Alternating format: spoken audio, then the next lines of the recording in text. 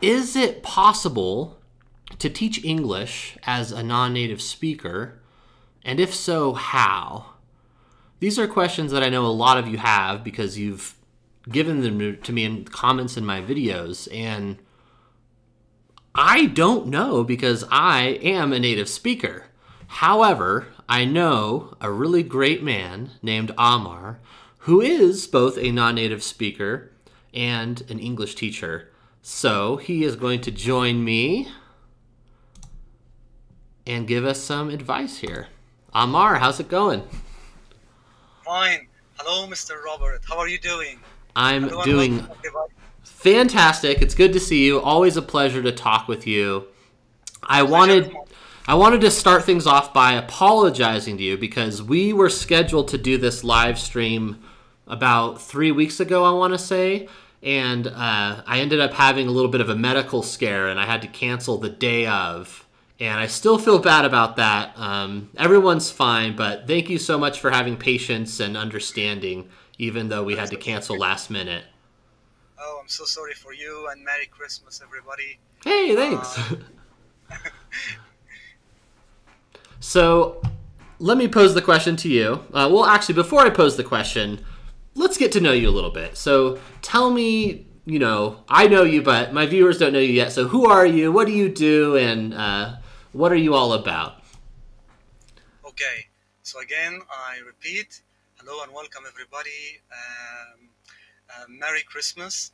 And in the beginning, I would like to thank you all for coming and watching me and hearing some advice from me. And thank you, Mr. Robert, for giving me this chance. My name is Amar Galal I am an English uh, teacher. I'm Egyptian. I'm 39 years old and I've been teaching English for more than 15 years now. Yes, I graduated from Faculty of Arts, English Department, 2004, where I majored in uh, English literature, both English literature and American literature. I teach English as a foreign language um, and that's it. Awesome, thank you. So, the question is it possible to become a teacher as a non native speaker? Obviously, you are, so the answer is yes, but why don't you tell my viewers how that happened? What was your journey like in becoming a teacher? What did you do? Well, after graduate, uh, graduation, I started working as an English teacher where I worked in uh, language schools. I, did, I, did, I taught uh, different levels of students, primary students, middle classes, high classes. And after that, I felt that I have the passion for teaching English. Uh, the passion uh, increased and increased. I wanted to teach the four skills equally I wanted to teach listening, speaking, reading, writing, and uh, teaching all of the skills equally in the schools, I think is going to be something very, very hard. So I did something like uh, career shifting. So I started teaching English uh, for adults and teens. And I started my own startup, which is a page on Facebook where I gave one-on-one classes to non-native speakers uh, in the Middle East, in Asia, in Latin America, where I taught them um, general English classes, conversation, outings, where I practiced lots of activities to help them improve their accent, improve their confidence when speaking English. Awesome, thank you. And if we were to go back, let's say some of my viewers are still teenagers, they're still in high school.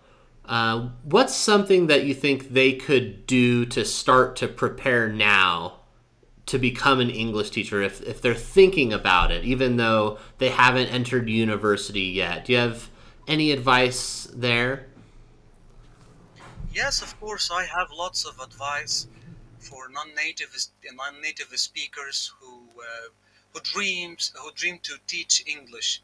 Actually, the first thing from an academic point of view is to test uh, herself or himself before teaching English. I'm, I'm, I'm talking about teaching, uh, testing their proficiency of English. So no problem if they um, uh, take a test like TOEFL test or the IELTS to test their proficiency because this is very very uh, important before teaching English to the different levels of speakers. Uh, number two, it's not good idea. It's not a bad idea to take any professional development uh, courses like TEFL, TESOL, Delta, CELTA. This is going to equip any one of them with the skills needing needed for teaching English because teaching English doesn't depend only on language itself. You know, as a teacher, because we have different topics that a teacher might uh, cover like classroom management, uh, learners' autonomy, learners' nature, first language acquisition. So they have to have background about this. Um, I think these are the two most advice, the most important advice that they must take care of before starting teaching English for uh, other non-native speakers. So, just so I'm hearing you right, number one, you want to assess yourself so that you can figure out what gaps in knowledge you need to fill in yourself before you can start to learn about those teaching techniques. Yeah, that's great. Number two, uh, taking any professional development courses about teaching. Uh, number three, it is worth mentioning to to study something. Let's take it as a self-study to know something about the other culture to know something about the American culture, the American literature. That's really, really important. At the same time, they have to study something about phonetics and the pronunciation. Uh, teaching pronunciation is really, really challenging. You know that we have over 2 billion English speakers all over the world. We have different accents, almost five dialects in England and about three to four uh, dialects in America. So non-native speakers suffer a lot from uh, adopting one accent uh, to master. Uh, non-native speakers are crazy about the American English. They are they are always arguing about the differences between American and the British. So an instructor, a teacher must take that into consideration. They have to study something about the American, for example, about the phonetics, the production of sounds, because we studied this in college. I still remember. Uh, they have to know something about pronunciation, uh, pronunciation all over the world. Let's say uh, the most two dominant accents, uh, American accent, British accent, because we prepare our students to meet native speakers who come from different nationalities. So how come? So they have to work hard before teaching English. Yeah, I remember. Uh, I think the first live stream that we did together on your channel a while back, we were talking about the American versus British accents, and I think you were arguing that you preferred the American accent, um, which was yes, interesting. Yes, of and course. Obviously, yeah. Obviously, I have an American accent, and I teach that because it's what I know. But um, you know, I, I try to stress to my students choose whatever accent you want because no matter what, you're going to end up with your own accent. You're going to have your own yeah. unique accent either way. So yeah, that's, it's really up to you. You get to choose your own path. And I'm glad that's that great. you mentioned um, learning about teaching skills because if, as a non native speaker, you learn teaching skills before you start teaching, you already have an advantage over a lot of native speakers who fly over the ocean and they go and they teach in a country and they have no idea how to teach. Yeah. They don't even know about phonics or anything. They're just over there and they happen to be a native speaker, so they get a job teaching children and it's unfortunate because they don't they're not really qualified. Just because you were born with the language doesn't mean you know how to teach it. So I think you make a good point and you know, you're going to study teaching methods as well yeah, yeah. You know, academically, academically, like uh, David Nunan said one day in one of his books about teaching that good teachers are born, not made. So we have to add something that we should be trained. And I can admit something about you, something that I admire a lot about your character. Is to remember the first time when I saw one of your videos suggested videos on Facebook. And uh, besides your uh, nationality and being a native speaker, I admired something else, which is your talents. You integrated your talents, your musical talents, your uh, integrated your skills into teaching. So that's something quite exciting. So as you can see, it's not only language, it's not only native or non-native teacher, it's a, a formula, a lot of things. Skills play an important role, passion plays an important role. Uh, the teachers, uh, um, let's say, the teacher's experience play another important role. So it's a formula, and we can spend lots of uh, seminars and lots of live streams talking about this. I'm not the only one to talk about this. Thank you for the kind words. Now you guys know why I like Amar. Uh, no. Okay, we, we have a question. Uh, just to let you guys know, we're to stop about halfway through and answer any questions. So we will get to your question, just not quite yet. Speaking of questions, um, what was the most challenging part of becoming a teacher for you? Yes, as I told you when you asked me the previous question, uh, as a non-native speaker, as I told you, I graduated in 2004. Okay, and I think at that time uh, I didn't have enough financial resources, so I had to increase my level uh, and my proficiency in English. So I had to take courses. So the first thing uh, was acquiring language itself. You know, I was very passionate and I was very, very ambitious. I dreamt of teaching higher level students so this meant that I had to increase my fluency at English. So this was the first challenge um, to me. And in the same time, uh, the professional development courses, you know, are, are not cheap. They are somehow expensive and they need dedication. They need work hard, working hard. Uh, so this was another point that, you know, made me suffer a lot. That's why I depend on uh, free webinars, uh, depended on myself uh, and um, as a self-study reading books watching youtube uh, following the other tutors all over the world. And i still remember those tutors from america who inspired me. Something someone like lisa Mojsin, a great teacher who inspired me a lot. So these things were really really um, important, and I suffered a lot uh, before um, working as a teacher uh, professionally. So it sounds like a lot of the most challenging things had to do with finances and coming up with the money to afford these things. And, and you're saying you were able to find either cheap or free resources. Yeah, yeah. Yes, yes, and I cannot forget the role that the American university here played in Egypt when they offered free courses for teaching English as a foreign uh, language. And Alhamdulillah, I got my certificate about two months ago. So the American university helped me a lot.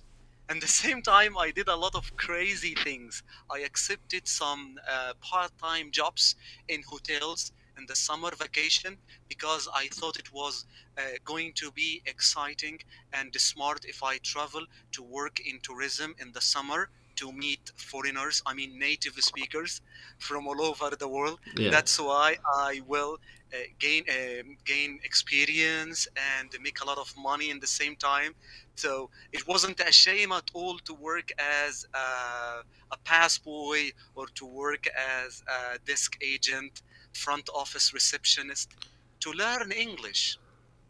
Awesome. Yeah. So you guys are hearing it. I know that a lot of my viewers also have limited finances. So I think it's really important that you're bringing up the fact that there's resources available and also you need to get after it. You need to immerse yourself in the language in whatever way possible, even if it means you take a job working with, you know, people who are touring.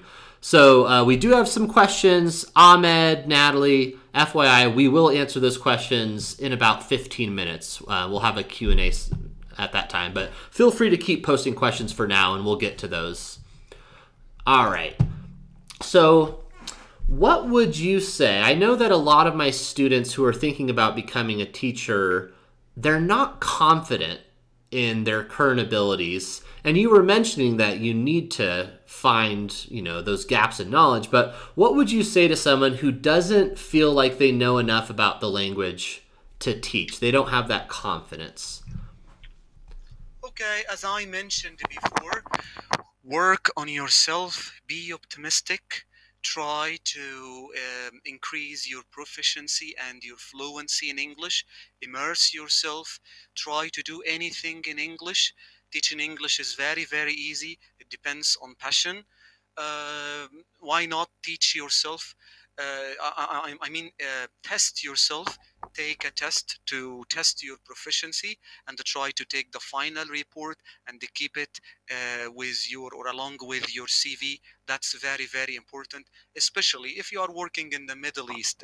And the same time, seek uh, seek for a professional development course like TEFL, TESOL. By the way, I'm a TEFL uh, holder, which is uh, lower than CELTA holders and Delta holders according to the Ofqual system in England. But this doesn't mean that I am not qualified. I know the names of the great uh, mentors and uh, professors in teaching English. I follow them. I read about their advice. I buy their books. So you can uh, make it as a self study without spending much money, and it's very easy. Uh, God will help you, and you will always have a chance. It's not easy at all. No, no, no, it's not easy. It's not difficult, I mean. you're very optimistic. So you're saying with studying, with. Putting in the time to find your gaps in knowledge, that helps build your confidence. Yeah, that's great. It depends on confidence. If you lose your confidence, you're not gonna make it. Was there a time in your journey where you felt like you were losing your confidence? Yeah, yeah. When I uh, when I worked as a part time in some other institutions, and they didn't give me a chance for teaching, and they asked me to keep uh, shadowing and uh, attend other classes with professional teachers, and I kept attending those classes, taking notes, uh, like some some some kind of peer observation, you know. And I I waited and waited for so long. So at this point, I felt that oh, they're not going to accept me. I watched them enough. I am ready. I must go on.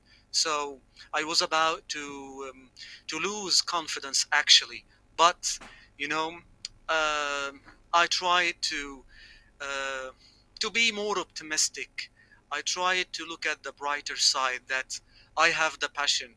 I still remember my uh, my professor's advice. I still remember my professor's encouragement to me that one day you will have a chance.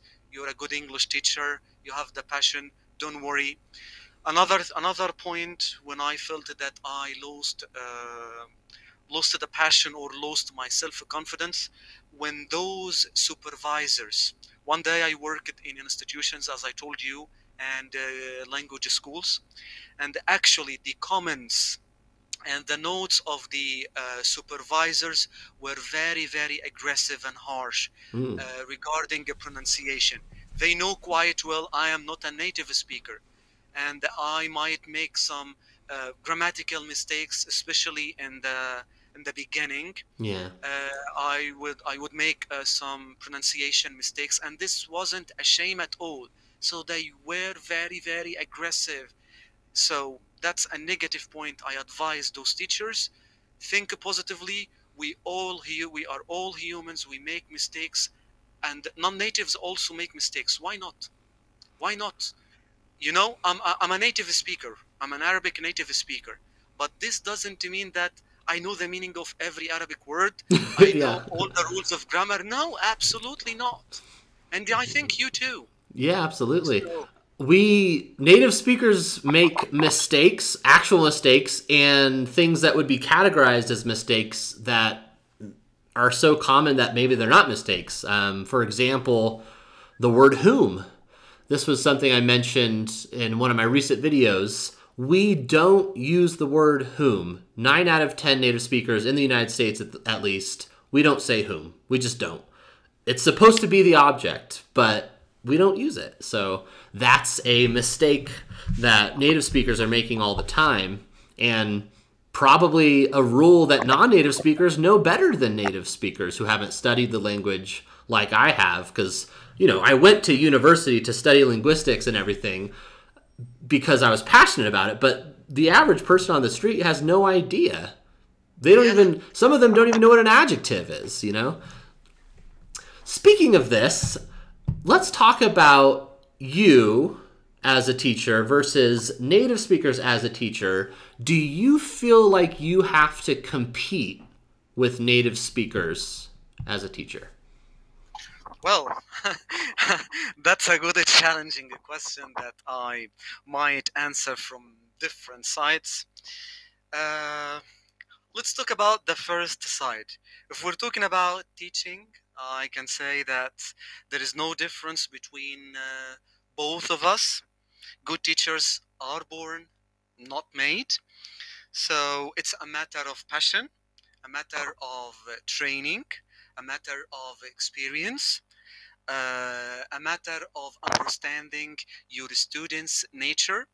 For example, if you're working in the Middle East, if you're working with some people from Saudi Arabia, so you will be able to understand their problems with uh, Arabic with, with both Arabic and in English. So this will give you an advantage if you are a non-native speaker. Uh, and in this point again, I would like to express my admiration with your talent and integrating your skills and hobbies in teaching. Okay, uh, another side or another point regarding language, of course. Of course, no one can deny this. As a non-native speaker your fluency is higher than me. Okay so this will give you the advantage of working with higher level students. That's a great but this will not give you the same advantage of working with lower level students uh, let's say for some reason that a native speaker will not be uh, aware of all the problems that we have uh, as Arab speakers or Spanish speakers or Japanese speakers when we learn English. You know, I'm talking about pronunciation. Absolutely, know? yeah. Another point, or the last point, when we're talking about learners, when we when teaching non-native speakers, okay, uh, I think uh, we'll have good or solid understanding with the nature of students from their areas or from their uh, countries or cities. But uh, in general, I think uh, it's the same, no big difference. It's a challenging, and really we can compete. Here in Egypt, we have uh, native teachers from America, from England, from Switzerland, from Australia, who came and still uh, staying here in Egypt and enjoying teaching English. This doesn't mean that we, the Egyptians, uh, stopped teaching English. We work together in the same institutions. We have our students, you have your students, and things are going well. And personally, I like the idea of integration and cooperation. Teachers are for teachers. You help me, I help you, and this is for the sake of the students. I love that perspective, and I, I can't agree with you more. Uh, so, just so I am understanding you right, it sounds like no, you're not competing because native speakers and non-native speakers fulfill different roles as teachers, right? Yeah, Yeah, because I completely agree. If I were given a pair of students who are native Arabic speakers and they're just starting off, there's no way I'm going to be able to handle them as well as you can. I don't know Arabic. I have no idea what sort of issues they're facing or what sort of, um, you know, things from the Arabic language they're trying to bring over the English that, that doesn't work. Um, yeah, you make a great point. And I, I'm totally with you on that but yeah, I think it makes sense too that you're saying when you get to a really advanced level, that might be the time when having a native speaker is um, more appropriate. Yeah, yeah, I can agree with you. And you know, where sometimes I listen to my students' feedback. Okay, students are really, really smart, and they are aware of the differences between native and non-native, and this is can be reflected when they say, "I wanted to take a course with a native or with non-native." So this means that they are aware of the differences and they are choosing according to their preferences. All right, I think it's a good time to take a quick Q&A break. We only have a couple questions here, so I'll just go in the order that they were asked. All right, can you see that, Amar? Yeah, I can see them. Can All right. them. So, go ahead and read that and answer that. Okay. So the first question, which is a very challenging question from Ms. or Mrs. Natalie Brundage. She's asking, is in your experience, is English taught in the British accent or American accent taught more in your country? Okay, so um, I can answer this question from different sides, but actually, uh, the, the variety or most of people here in English in, in, in Egypt uh, prefer learning the American accent because when you ask them why, they say that it is the most dominant accent all over the world. Uh, why? Because all the movies in Hollywood are in American English. All the songs that we hear in the Middle East or all over the world are in American English. Uh, and some students or some uh, non-native speakers are really uh, are really smart, and I agree with them in the point when they say that it's easier to learn American English than British English for lots of reasons. Because uh, number one it looks similar or it is similar to the the, the sounds of uh, the sounds of arabic. Number two the dialects in america itself aren't as um, aren't as many as those dialects in england you can watch the the professors or the instructors in england who say that they have at least five dialects in england so it's not easy to learn that. And there is something funny that you, native speakers, don't know. Uh, we would say that the British, we have, of course, different dialects here in Arabic in Egypt. We have about three or four dialects here in Arabic. According Just in to the- Egypt alone? Yes, just in Egypt. According to the north of Egypt, the, the upper Egypt, and so on. Uh, people say that the British accent looks like the accent of the upper Egypt in Egypt. A heavy accent, a tough accent. When, when they pronounce something like ka, of course, it doesn't make any melody here. It looks like a heavy word. It's not easy. It's, it has no melody.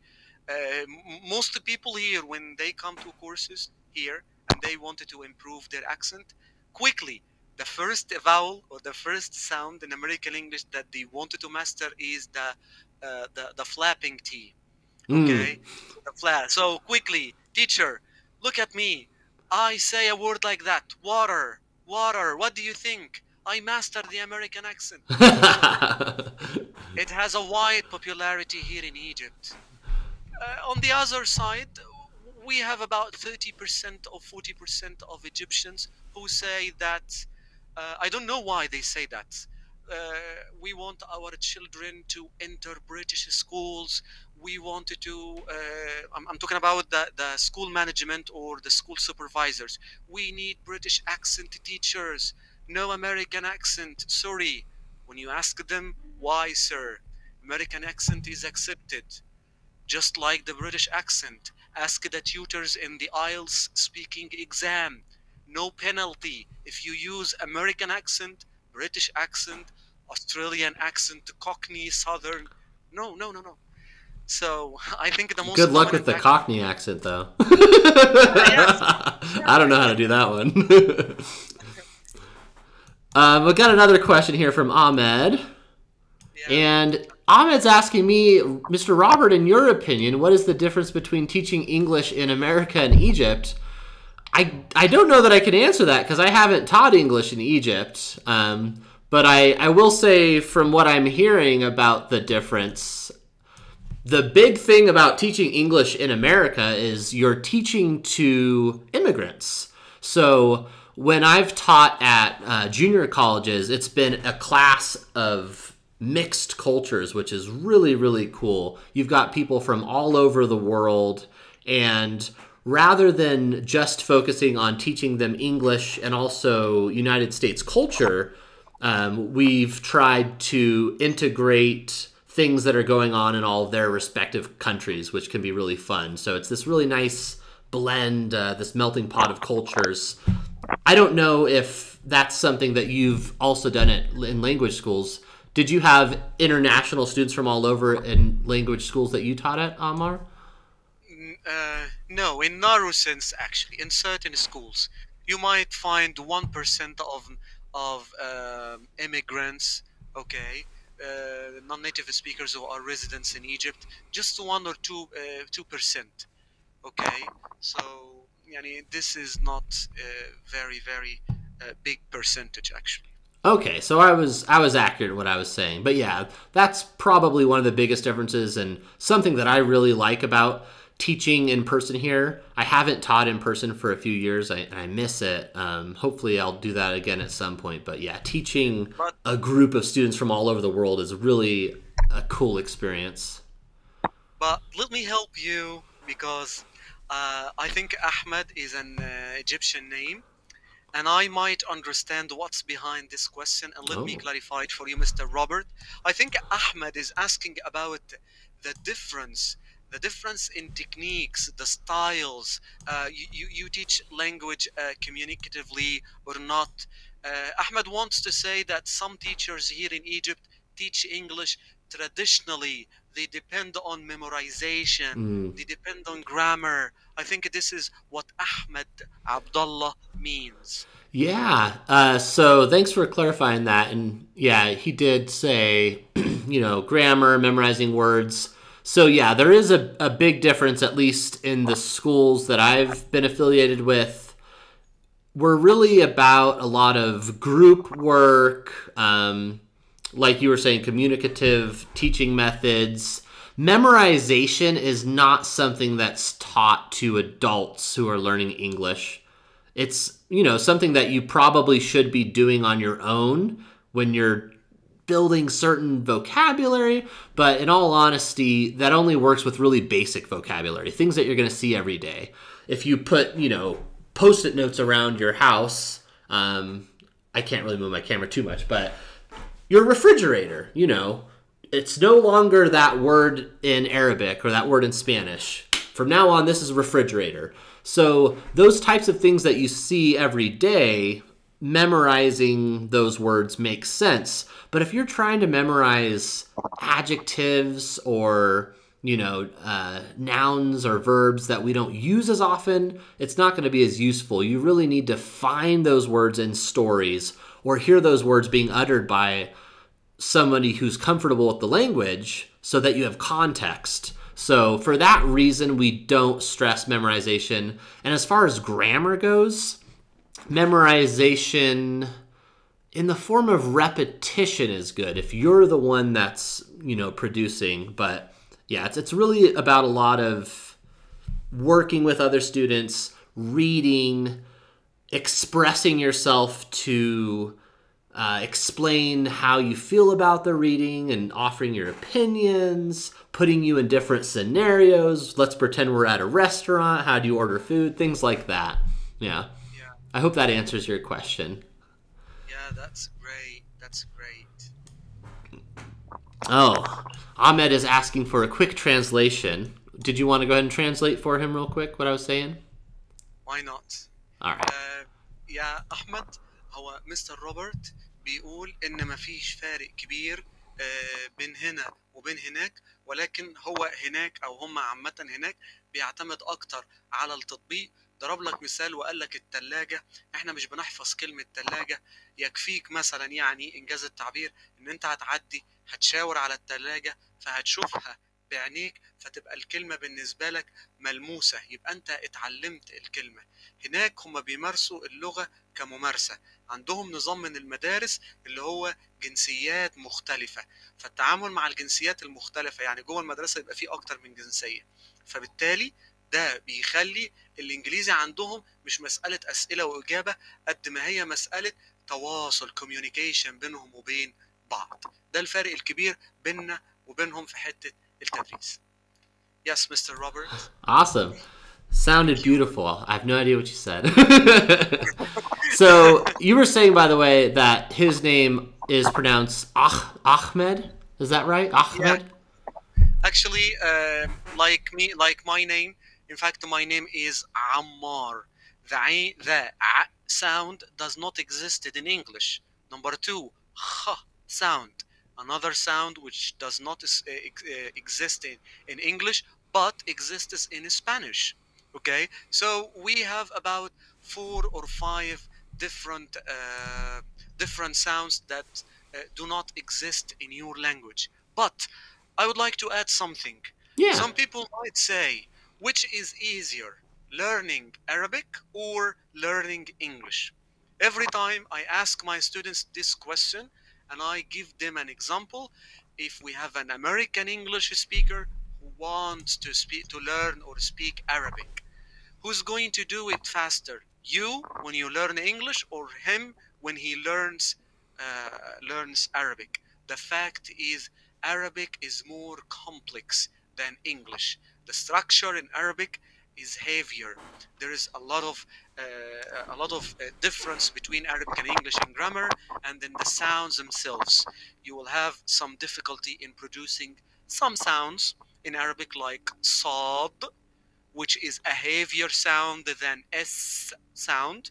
We have dad, which is much heavier than d sound. We have tah, tah, which is heavier than t sound. So we have ain, which doesn't exist in English, and you, as native speakers, non-native Arabic speakers, replace it with ha, and the kha you replace it with Ahmed. Uh, we have a variety of sounds, but in fact, Arabic is more difficult to be acquired. I'm sorry to say that. Sorry, guys. Any of you English speakers are looking to learn Arabic, but I would I would say that what you said still stands. You know, be optimistic, put in the work. You will get there. Maybe it'll take a little bit longer. I hope so. All right, we've got uh, one more. Well, we've got a little comment here. Just some kind words for you, Amar. I would agree. You're a very optimistic person, and I would be happy to have you as a teacher if I were learning any language. And then I got another question here, which was actually a question I was going to ask you, which is, what do you love most about teaching English to your students? um, when we talk academically about the four skills, I would choose the productive skills. I said productive. I mean teaching speaking. You know, it's very, very fruitful when you say your students started to make a sentence, started to speak English. I really enjoy uh, teaching students speaking. However, it's some kind, uh, uh, you know, challenging. It's not easy to take words out of the mouth of the beginners. You need to be smart enough. You need to work hard on yourself. Prepare a lot as a teacher. Prepare games. Um, also, I enjoy teaching uh, pronunciation, and I would like to say something. You know, when I teach uh, American accent, when I teach pronunciation, however, I am a non native speaker, I feel like an ambassador and I represent uh, all the Americans. So I do it honestly. Every time I say Americans in the North, say it like this. Americans in the South. You still remember, of course, the last uh, webinar we had on my page when we talk about when we talked about the different dialects in, in America. So I find it very exciting when I teach students pronunciation. It's really, really fantastic. Cool. That's it's funny because pronunciation is one of the things that at least up until recently I have loathed teaching. I because a lot of students will get hung up on pronunciation, meaning they think it's the most important thing and they want to sound like a native speaker. First of all, what is a native speaker? We were just talking about there's so many different dialects and there's some countries where even though English isn't the official language, a lot of kids are learning English as a first language. However, there's a new accent, but it's really just a new dialect that's coming up in places like the Philippines, for example. So, are they native speakers? I would argue that they are. Um, so, I would not worry about getting hung up on sounding perfect, but being able to be understood is a huge deal. And when you're teaching that part of pronunciation, I think it's very important. And I've forced myself to make these pronunciation videos because my students really like them. They tend to get the highest views. And I'm starting to get to the point where I enjoy it. Thank goodness. And, and as your colleague, I would say that you are fantastic, talented teacher. For, as a teacher, as a non-native teacher, I say it now to you and to all the viewers. I learn from you. You have the technology, you have the talent, you have the skill. You are amazing. I enjoy watching your sketches that you prepare by yourself. You teach your pronunciation in a simple way. That that's really really helpful. That's Thank really you helpful. so much. I really appreciate Thank you that. very much for your great work. Ah, and Natalie wanted to thank you for speaking your native language. Helps me appreciate the similarities between English and Arabic sounds. Very cool. You're welcome. You're welcome, Mrs. Natalie. Thank you very much. All right, so those were all the questions we had here in the chat. I wanted to give you an opportunity to share some information about your YouTube channel, your Facebook page, how students can find you, and maybe even take classes with you. So I'm going to put you on solo, and uh, feel free to share your screen if you'd like.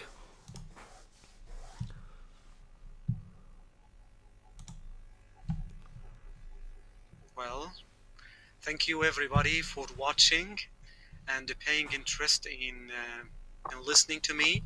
As you can see, that's my page.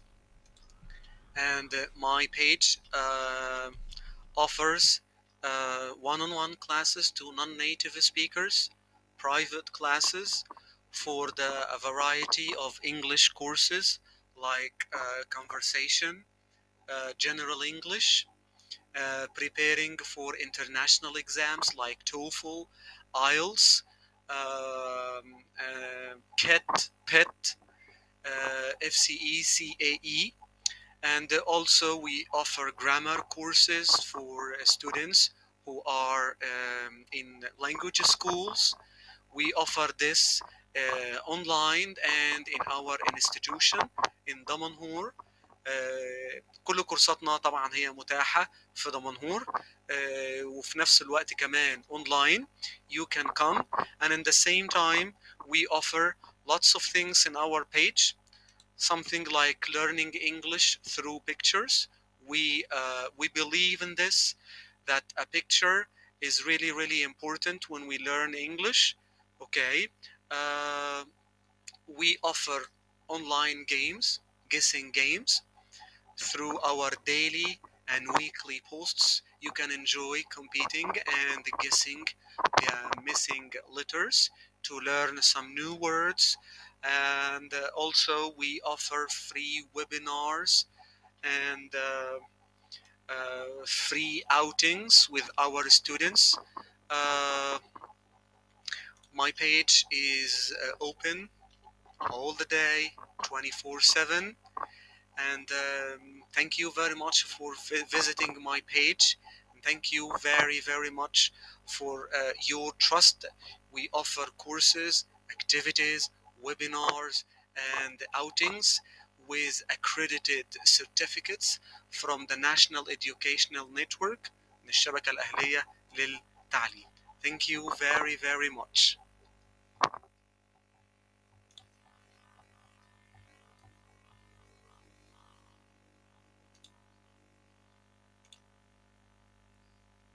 That's my page. My page is called the English Vibes. Sorry about that. Were you were you all finished sharing?